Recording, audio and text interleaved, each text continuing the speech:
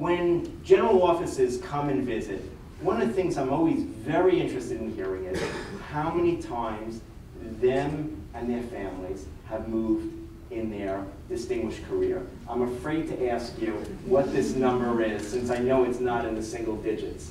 It's nowhere near in the single digits. Um, Eight, I think eighteen times.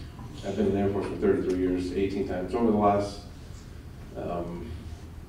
I would say probably over the last ten years or so, the longest I've stayed at any one place is about sixteen months. And that includes being assigned to Japan, in uh, England, and so, and, and then on top of that, my, I grew up as a military dependent. My dad was in the army, and so if, I'm fifty-five, if you added up all the moves, which I haven't because I don't want to start crying, it's, uh, it's probably, uh, well into the high twenties. Hmm.